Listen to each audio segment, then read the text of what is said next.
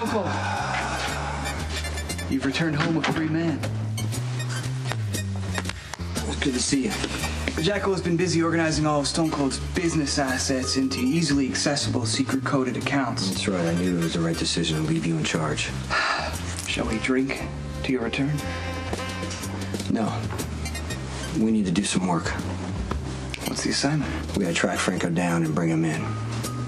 Man, I can't do that without you. I need you.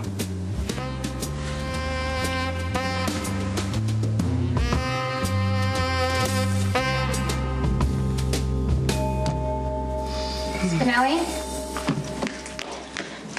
Spinelli, any word yet? Uh, no. Not yet. Stone? Cold? I'm gonna prosecute him and put him away, and for that, I need him alive. Uh, since when don't we use lethal force if necessary? It's my case. I make the rules. No need to analyze further.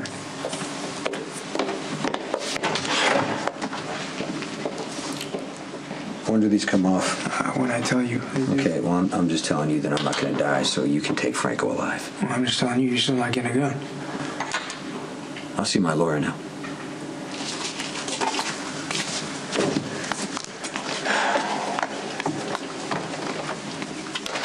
I think this is all going terribly well. I need you to find out what happens if if I escape. What happens to Michael? Hypothetically escape. Okay, Don't I know tell that me. Dante is gonna lose his badge. But will Michael be sent back to Pentonville? Nobody saw you. Oh, come on, not a soul. Good man. You're not gonna tell us where you're going, are you? I can't. He's afraid we're gonna spill the beans to Tracy. No, no, no, it isn't that. It's just that right now I'm not really sure where I'm going. I mean, I'm going to Zurich, do some bank business. But after that, I really don't know. Well, when you get to wherever you're going, give us a call. I'll come visit. Look at you guys. You are a spectacular crew. I love you all. You're amazing people.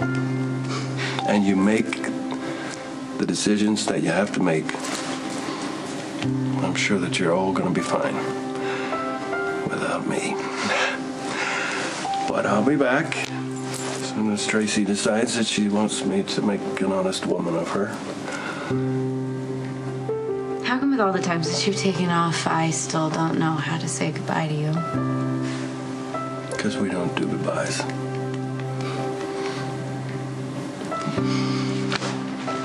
All right. So uh, while you're looking in on each other, take a minute out every once in a while and look in on Tracy, will you? All right, Tracy's gonna need someone to yell at, right? That'll be you. Yes, it will.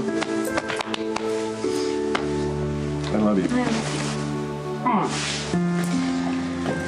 Number one son, Take it easy, Dan. Call if you need anything, all right? Okay. watch out for yourself.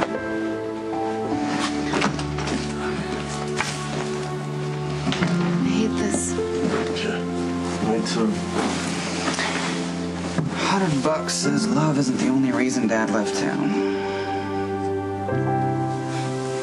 You didn't really tell Steve that I was the only one for this procedure, did you? Of course I did.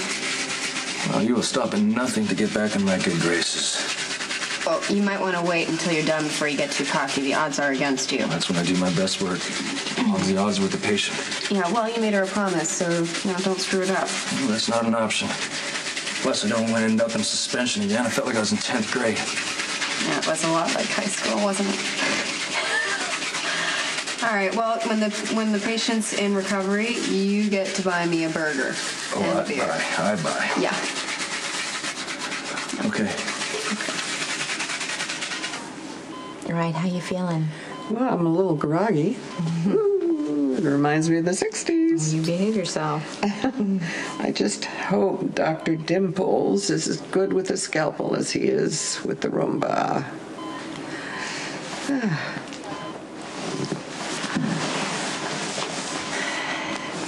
I'll be waiting for you in recovery.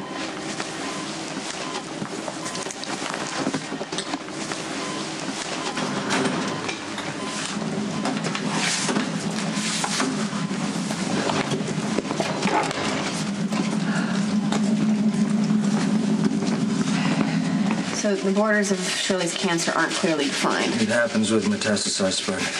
It could be embedded in brain tissue. Well, it's no doubt. It's gonna take our best work. You're just gonna have to keep up. You've been on suspension. You're rusty. If there's any problems, I'll cover. Oh, dream on. I'm Shirley's gonna need our A game. And more. I've got the latest test results on Shirley. Cancer spread further than we thought. Welcome home, Mr. Morgan. Thank you.